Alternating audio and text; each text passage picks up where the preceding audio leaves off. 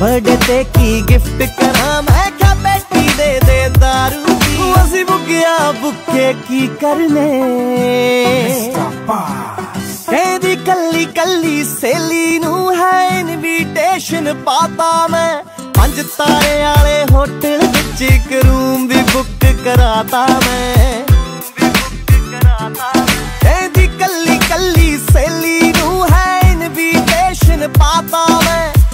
ਤਾਰੇ ਵਾਲੇ ਹੋਟਲ ਵਿੱਚ ਇੱਕ ਰੂਮ ਵੀ ਬੁੱਕ ਕਰਾਤਾ ਮੈਂ। ਲੈ ਕੇ ਨਾਲ ਆਉਂਗਾ ਯਾਰਾਂ ਨੂੰ।